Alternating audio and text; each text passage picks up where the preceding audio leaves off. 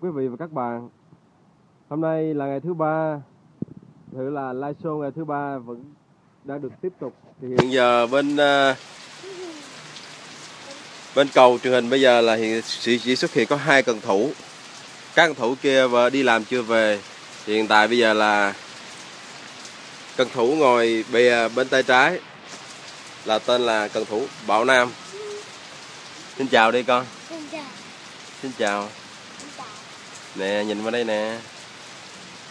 Con làm cái gì đó? Hốt mò. có mò hả? Lẹ đi, trời ơi, sao lâu quá vậy? Có được con cá nào chưa? Chuẩn bị câu đúng không? Rồi, ráng bắt được con cá to to nghe chưa? Ồ.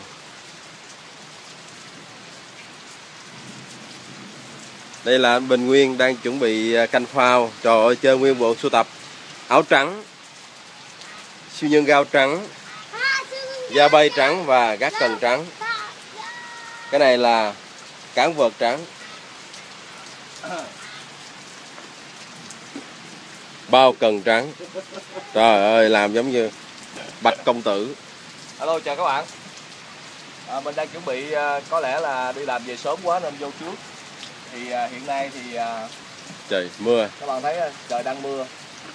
À, Vô quẩn quá thì à, chuẩn bị mồi trước rồi canh phao là để cho các bạn à, lát vô thi đấu tại mình chậm mà.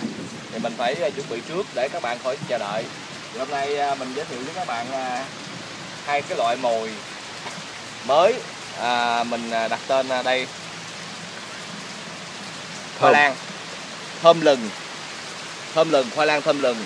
Và bài mồi thứ hai của mình là bài mồi cám cám này mình đặt tên là cám tanh rình.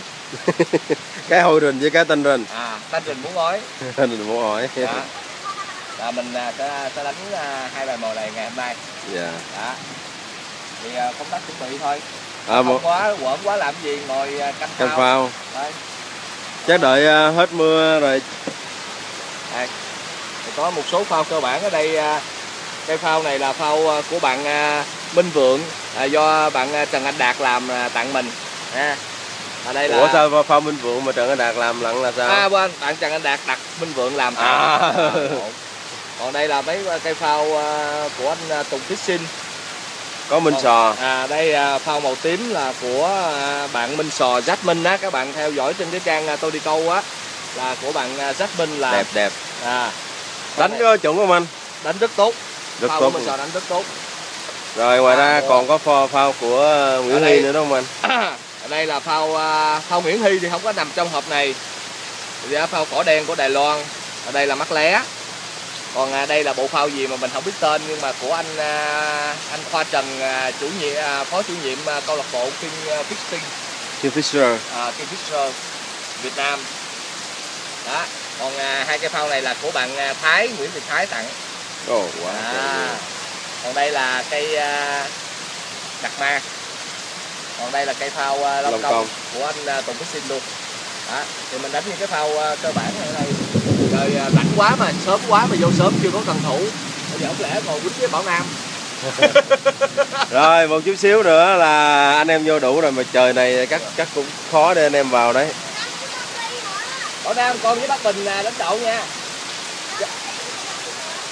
rồi rồi chút nữa cho thi luôn. Hai hũ vô ua nha. Tính hai hũ vô ua đây sớm quá cũng có một số anh em vào nhưng mà đang ngồi nhậu bên kia rồi. Rồi tạm biệt các bạn